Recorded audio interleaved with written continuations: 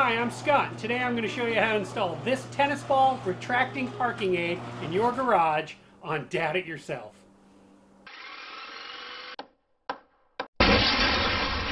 Okay, so this is my wife's car and it is parked in the garage. And you can see we have these bollards right here that protect our furnace and stuff and how close her car is to that. Well, we've been using this piece of junk from Amazon. Cost me 25 bucks. And sometimes it works, sometimes it doesn't. As you just saw from the video, it didn't work. But a lot of times what happens is it turns red about a foot and a half or two feet out from this pole. And no matter what I've done to reset this thing and follow the directions, it doesn't work. And what that does is causes the back of her car to be where the door is. And as you can see, the door goes right here and this is her bumper. So we've only got about a foot of clearance if she creeps all the way up front.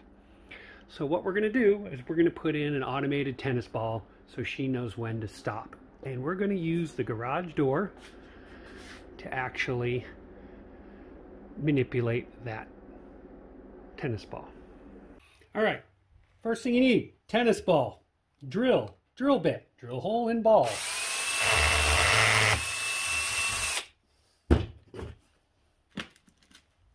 Hook. Screw the hook into the ball. And this is what we will refer to as the target. Okay? Hooks in the ball. Okay, so two critical dimensions you need to know, and this will make sense in a minute. You need to know the distance between where the ball touches on the windshield and the pivot point up on the ceiling, and then the, the throw of the door, how far the door travels. Okay? So roughly, I'm looking at, and these, these don't have to be exact, they just have to be close right now. I'm looking at about,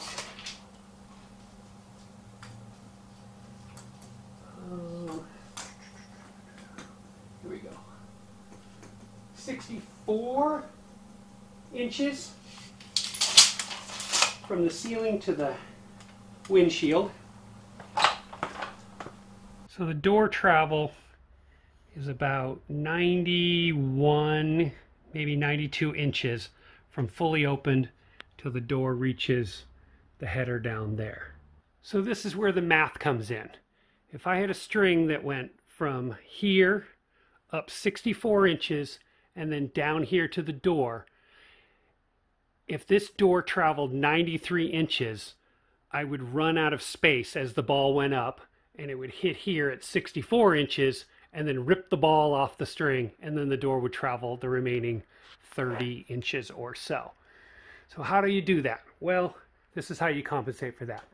You find that point that's directly above the door, and then you go that way to make up the difference. So technically what will happen is the top of the door travels towards the second pivot point. The ball will actually lower in the garage and then it'll start picking back up as the door continues to travel. And what that will do is take up that slack. So it doesn't matter if the ball comes down and then goes back up, the car will be backed out by then. And then when the door is fully closed, the ball will be all the way up and out of the way. And when you're walking across the garage towards that door, you won't be running into the ball. All right, let's put some hooks in the ceiling so that we can see where that ball is going to land and then do the final measure to make sure we have enough slack and then we'll test it for operations. Okay, so the first step is I want to set the first hook in so that this ball hangs directly down right in front of the steering wheel. So it just touches right there. And so that puts my hook right here. Just screw the hook in real go. What I'm going to do is hook this on there. I'm going to go over this cord. And Here we go. And because my garage door opener is right here, I'm actually going to put another hook out here. And what that's going to do is just get it around the garage door before it heads in that direction.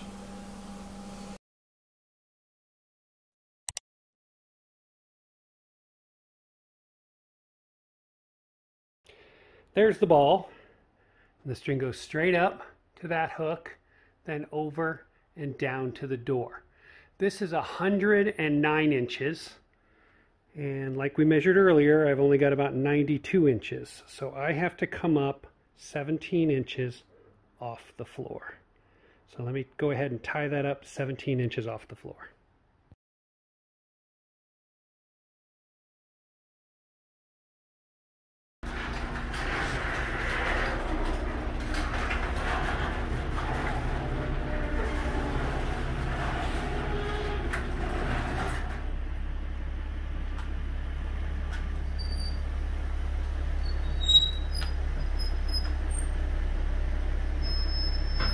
So, there's the ball sitting right there. That's not where you want it.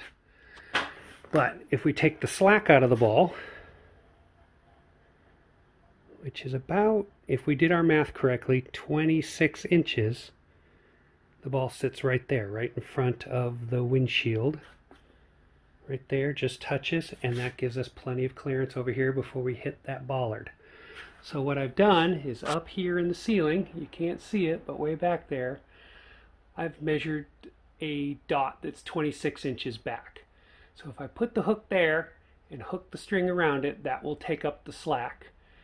And we can adjust that forward or backwards just to make sure we get our spot right. Let me go ahead and put that hook up there. Okay, call me crazy. I don't know about math, I guess, because there's my mark back there at 26 inches, and here's my hook and about eight inches back from the top of the door. And if you follow the string down, it goes down to there. And what I forgot to take into account was this distance right here. So this plus the 8 inches gives me the 27 inches I was thinking I needed. So as you can see, the ball is sitting right on the windshield. The string goes up, comes across, goes across to the slack, we'll call this the slack hook, and then down to the anchor point on the door. Let's check it out and watch it work.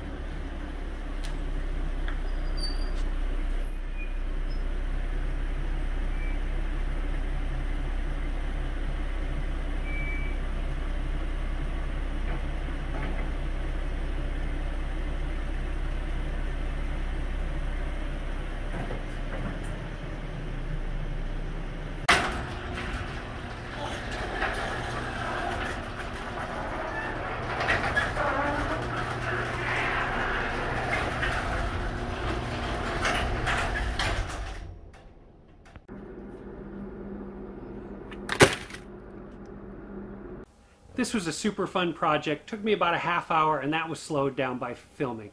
Anybody could do this, a little bit of extra measurements here and there, and everybody's garage is a little bit unique and everybody's car is a little bit different in size.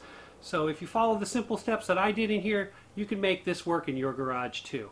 If you have any questions, comments, or suggestions, put those down below. Speaking of comments, don't forget to like, share, and subscribe. And if you subscribe, hit the bell for notifications. I've got some videos over here you may be interested in. Subscribe button's right over here. Thanks for watching. Dad It Yourself.